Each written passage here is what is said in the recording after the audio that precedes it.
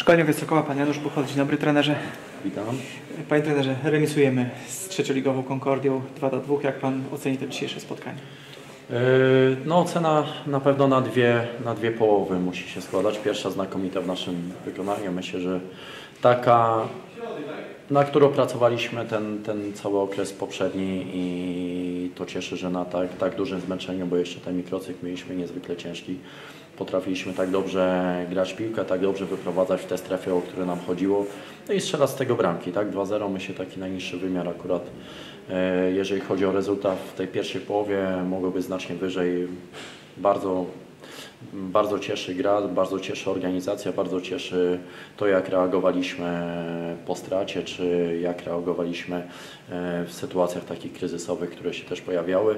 Myślę, że ta połowa była taką, o którą, o którą nam chodzi e, w graniu w lidze i tego się będziemy trzymać. Jeżeli chodzi o drugą połowę, bardzo martwi spadek jakości, spadek myślę takiej wiary w to, w to, że możemy jeszcze ten wynik poprawić, jeszcze możemy wyjść na wyższe prowadzenie i no nie ukrywam, że ta druga połowa bardzo słaba, jeżeli chodzi o odwagę, jeżeli chodzi o, o taką odpowiedzialność. Niestety nie widziałem w tym zespole energii takiej, która może poprowadzić nas y, w przyszłości do, e, do jakichś większych rzeczy, jeżeli chodzi o, o te, te personalia, które akurat ze sobą przebywały na boisku. Dopiero po wejściu Michała Kiełtyki gdzieś, gdzieś te, ta, ta taka mm, y, nie, nie, nie tylko energia, tylko też odwaga, to zacięcie, to wszystko jakby wróciło, czy powoli wracało do, do równowagi, ale ja oczekuję znacznie więcej. Nie ukrywam, że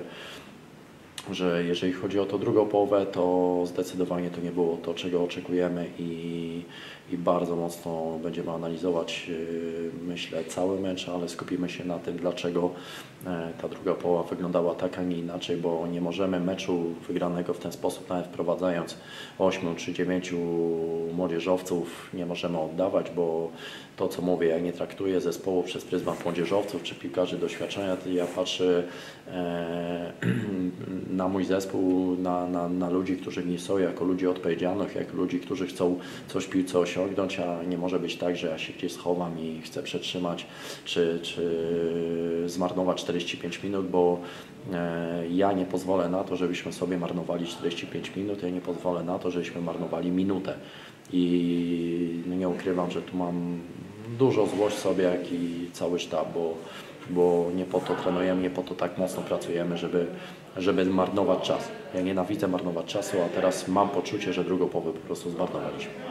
I teraz wracając do tego, co Pan powiedział, do ligi zostały trzy tygodnie, tak? Czy znaczy po tym dzisiejszym sparingu, że już ta jedenastka podstawowa na broń Radom już się tak klaruje, że będzie oparta o tych zawodników, którzy grali dzisiaj w pierwszej połowie, czy też jeszcze, jeszcze Pan daje sobie te trzy tygodnie na to, na pracę z tymi zawodnikami, zwłaszcza z drugiej połowy, żeby, żeby oni spróbowali powalczyć o, o plac na, na meczu z bronią? Nie, w życiu tutaj nikogo nie skreślamy, tak? Mamy, mieliśmy przynajmniej czterech piłkarzy, którzy aspirują do grania w, pierwszym, w pierwszej jedenastce i są na równym poziomie, jeżeli chodzi o, o, o jakby o piłkarzy, którzy mogą aspirować do tego, żeby wybiec na, na, na mecze ligowe.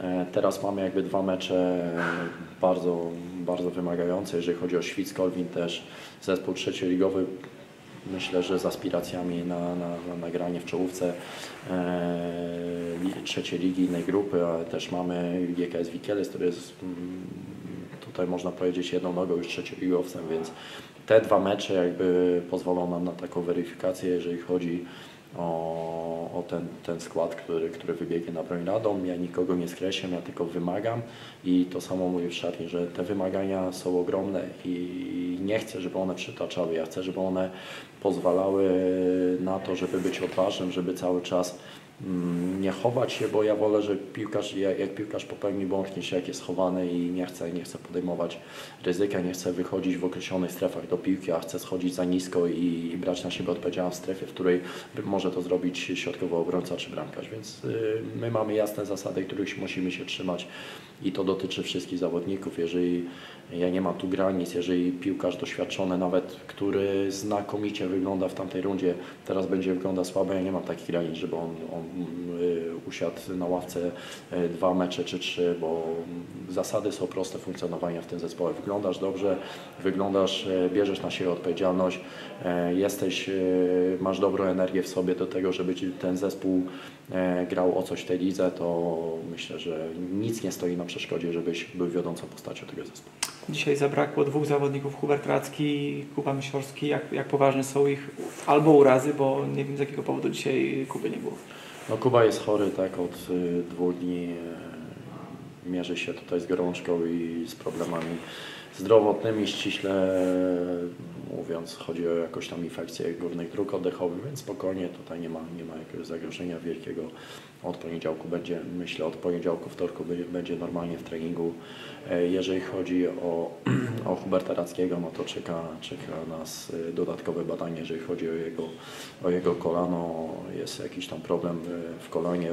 USG wykazało, że być może niewielki, ale chcemy to jeszcze potwierdzić, żebyśmy mieli e, jakby podstawę do tego, co robić dalej, jak, jak powinno przebiegać leczenie, czy, czy być może już wejdzie w trening. Dzisiaj dysponował Pan jakby dwoma jedenastkami, krótko mówiąc 22 piłkarzy, dodając do tego jeszcze dwóch piłkarzy, których dzisiaj zabrakło 24. Kadra dosyć szeroka. Czy będzie Pan chciał, próbował wypożyczyć kogoś do, do innych klubów z, z naszej kadry?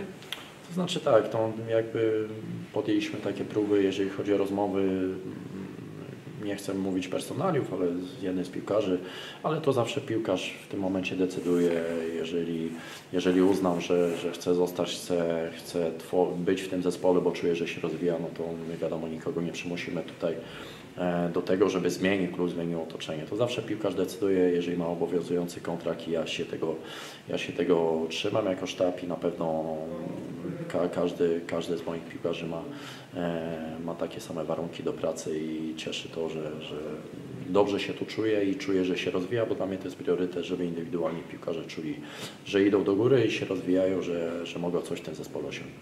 To dziękuję bardzo. Dziękuję.